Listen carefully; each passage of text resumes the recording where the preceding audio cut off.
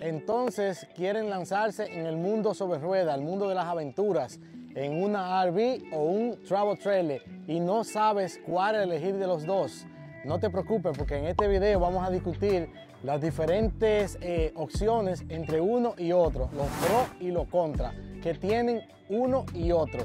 Así que no te vayas para ningún lado y mantente hasta el final de este video que esta información puede ser muy valiosas. Así que arranquemos.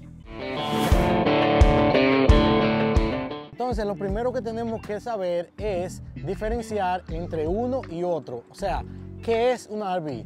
Una RV es un vehículo de recreación que tiene todo incluido, sea un motor de esos que se manejan, está todo integrado ya en el mismo vehículo, tiene su motor y tiene todo integrado en el mismo vehículo.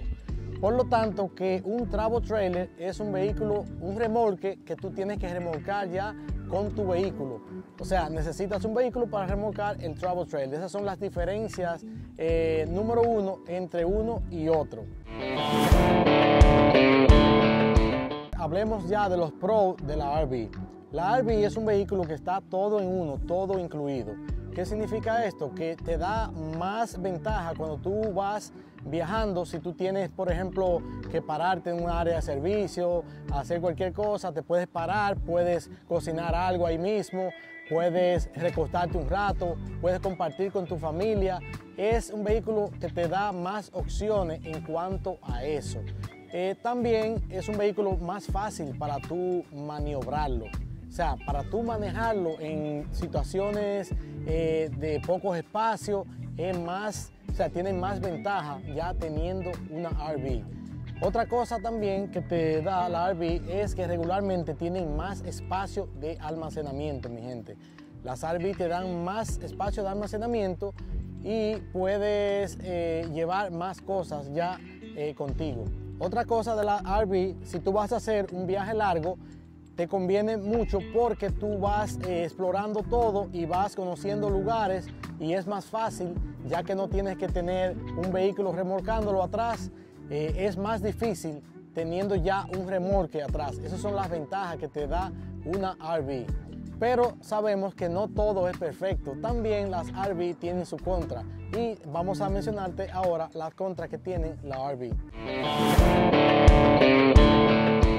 Lo primero sería el alto costo. Regularmente las RV cuestan muchísimo más en relación a un trailer. Los travel trailers son mucho más baratos eh, porque no se requieren tanto como, como una RV. Un RV es un vehículo completo ya que requiere de muchas cosas, muchos componentes y regularmente son más caros.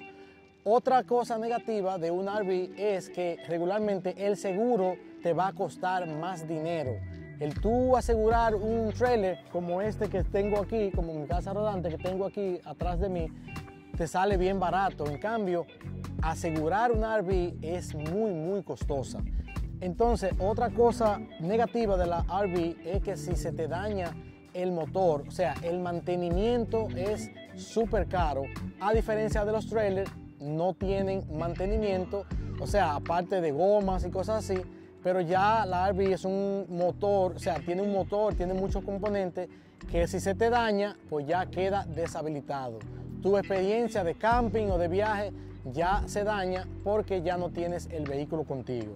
Otro punto negativo de la RV es que si vas a un sitio a conocer un parque o donde sea, vas por muchos días a un solo lugar, no te da la flexibilidad que te da un trailer. La RV ya tú llegas a un sitio y ya esa es tu casa.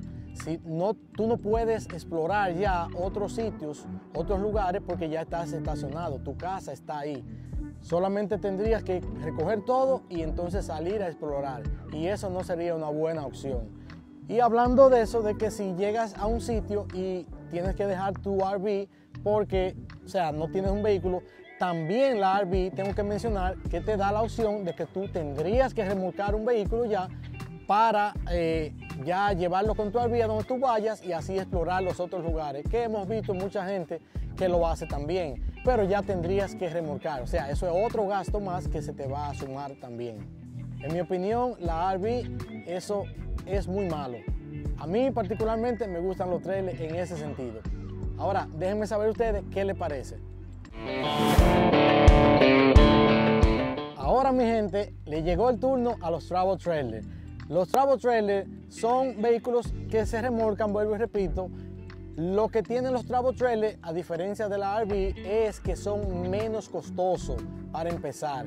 Son menos costosos y te dan una variedad extensa ya en los tamaños de, los travel trailers. O sea, tú puedes elegir uno pequeñito, grandote, como tú quieras, dependiendo ya tu bolsillo. O sea que te van a salir más barato que una RV. Otro punto muy importante que tienen los travel trailers que hay que tomar en consideración es que el mantenimiento es muy mínimo en relación con un RV. Los travel trailers tú solamente eh, le pones, o sea, tienes que encargarte de las gomas, los frenos, las luces y que todo esté bien y mantenerlo ya eh, que no se le entre agua, mantenerlo los silicones, que todo esté bien. Pero la RV tienes que gastar mucho dinero en el mantenimiento y tienes que estar encima de eso. Otra ventaja que te dan los travel trailers es que si tú llegas a un lugar, a explorar cualquier lugar, vas por cierta cantidad de tiempo a un sitio, tú parqueas tu travel trailer y te vas en tu vehículo y puedes eh, andar el lugar, puedes explorar todo lo que quieras. A diferencia ya, como mencioné, de la RV, que no puedes hacer eso porque ya tu casa está ahí. Tendrías que llevártela o remolcar otro vehículo. Esas son de las ventajas básicamente que te dan los travel trailers. Ahora, como sabemos, no todo es perfecto. Te voy a mencionar las contras que tienen los travel trailers. Primera contra que tienen los travel trailers es que necesitas un vehículo para remolcarlo. A diferencia de la RV, que ya tú lo manejas ahí y ya tú estás bien, los travel trailers necesitas un vehículo. Dependiendo del tamaño del travel trailer que tú tengas, necesitas el vehículo. O sea, mientras más grande, necesitas un vehículo ya más potente, más fuerte.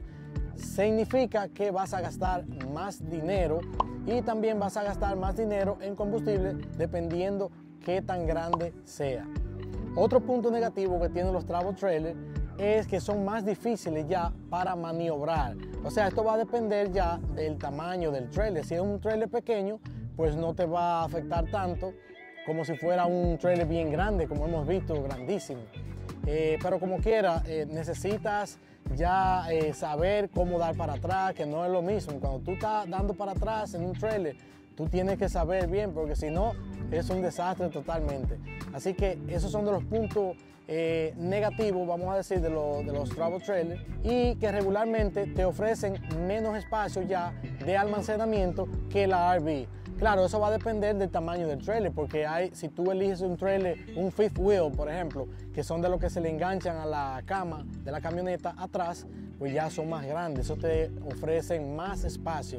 Pero un trailer como este que tenemos aquí, que no es tan grande, pues no te ofrece tanto espacio de almacenamiento, mi gente.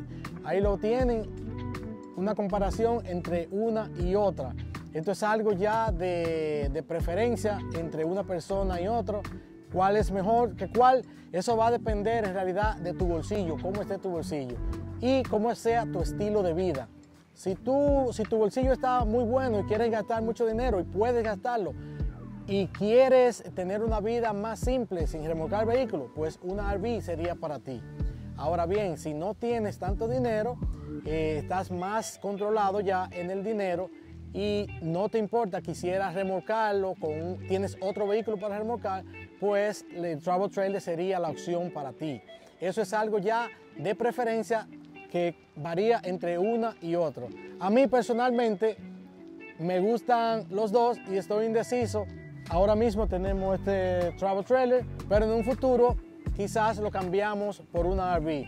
Es cosa, como le digo, es eh, dependiendo tu estilo de vida y lo que tú estés viviendo en este instante. Así que yo espero que hayan aprendido algo nuevo en este día de hoy. Eh, no olviden de darle like al video para que YouTube lo recomiende a más personas. Y también mi gente, quiero recordarles que se suscriban al canal. Suscríbanse y sean parte de esta comunidad aquí que nosotros hablamos de camping trailer, hablamos de bicicleta, hablamos del mundo, en realidad el mundo de los outdoors como llamamos aquí. Así que nos vemos en un próximo video.